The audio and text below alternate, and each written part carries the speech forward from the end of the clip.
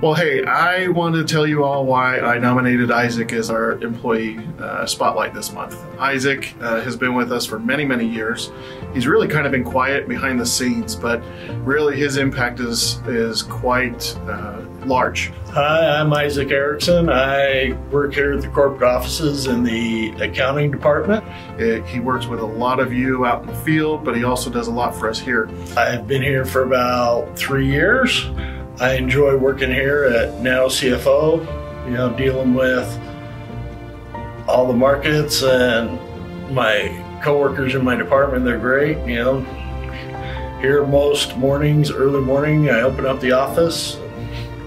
Uh, the nice thing is I can always count on him to get things done. Uh, he'll stay late, he'll come in early, uh, he knows where things are at. I can always ask him, you know, to help out somewhere and he, it's always cheerful.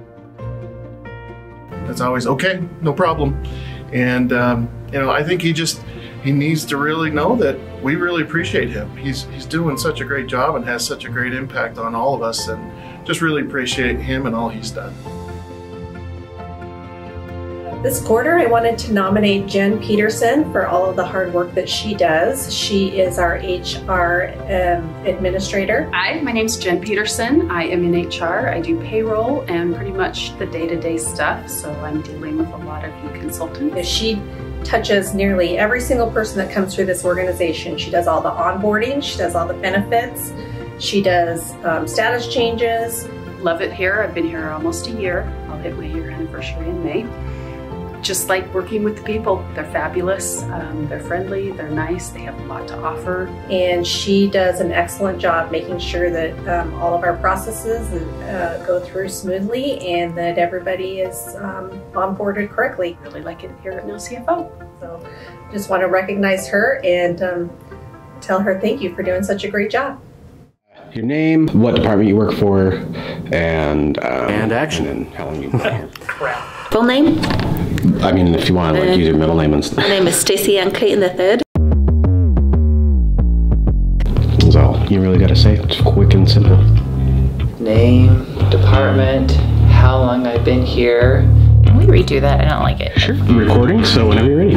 Hey, shut up for a second. Yeah. okay. this is so awkward. I know, tell me How about long have I been here? All right, we're recording whenever you're ready.